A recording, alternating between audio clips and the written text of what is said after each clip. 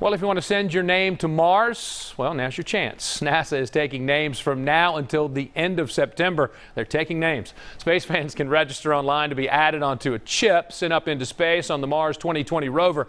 Each person will get a souvenir boarding pass and the opportunity to say their name is among the stars. The rover is scheduled to land on the red planet in February of 2021, carrying small microchips with millions of names etched on them.